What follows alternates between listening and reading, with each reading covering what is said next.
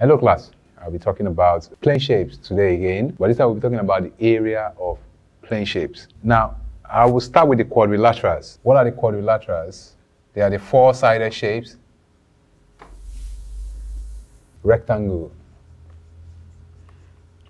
For the rectangle, you have a shape that has length, breadth, two opposite sides being equal. The area of a rectangle equals to length times breadth, where L equals to length and B equals to breadth. And sometimes they will call this breadth width. Let me slash this and call it width. So when you hear the word width, width can also be referred to as the breadth of the rectangle. So the area of the rectangle is called, is simple as, is simply put as a length times breadth. You multiply the length and the breadth of that shape.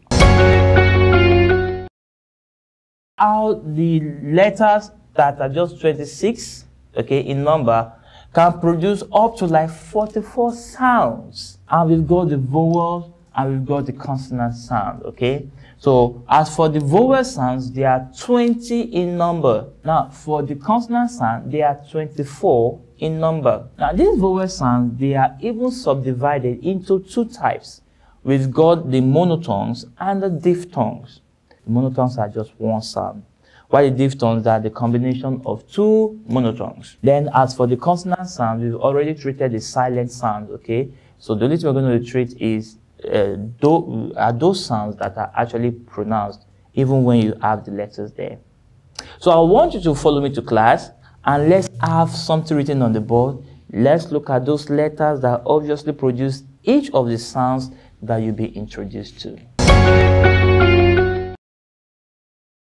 Hello everyone. We are about to discuss questions in, involving equilibrium of forces. These questions were taken from our previous classes and um, we're about to get through them.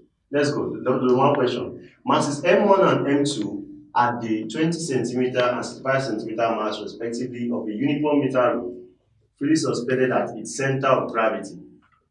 If the rule balances horizontally, determine the ratio M2 to M1. So what we do is make a sketch of a meter rule. The meter rule should be calibrated from 0 to 100 centimeters. And this one, we are told, freely suspended at the center of gravity, okay? So the center of gravity for a uniform meter rule should be at 50 centimeters. Now, we have masses M1 and M2 placed at the 20 centimeter mark and 65 centimeter mark respectively. So for the mass M1, it's going to be at the 20 centimeter mark, which is to be on this side of the uh, meter rule. So we have that as M1. Then M2 will be on the 65 centimeter mark. That's after 50. We have our M2 here. Okay, so that's M2 now. The question is for us to decide um, the ratio of M2 to M1. How do we get that? Now, for this rule to be in balance, as, we, as the question says, then we are told here that the sum of the moments about a particular point should be zero. And so look at M1. What kind of moment does it describe about this pivot? You would know that it's anti-clockwise. Okay. While M2 will describe a clockwise moment about the pivot. So let's quickly have the moment itself. But what's the rule? We can say total ACW moments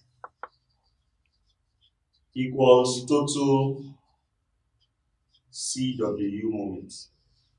This is another way of saying the sum of the moments about the pivot is zero. Because ultimately, if you decide to add all the moments on one side of the equation, you would have to put positive sign on the, uh, the anti-clockwise moment and negative sign on the clockwise moment. And that will ultimately give you a zero result. Alright, so but we can also address it as I have written. Total anti-clockwise moment equals total clockwise moment. Most students prefer it this way. Good day, students. The last time we met, we have been on Carbon and its compound, and we are going to continue from where we stopped last time. The last time before we parted, I told us that we're going to be looking at the properties of diamond, the properties of graphite, the uses of diamond, the uses of graphite. And that will take us to the destructive distillation of coal that we're going to see as we move on today. Uh, diamond, as it where we know that it is, it is, it is used as jewelry, you know. But let me begin with being used as abrasive. Diamond is used as abrasive because it is very dense and hard. So we use it as abrasive to sharpen very hard tools. Good day, viewers. I'm happy to be with you today. Uh, once again, we have a very interesting topic to treat today uh, in financial accounting, talking about accounting concepts and conventions.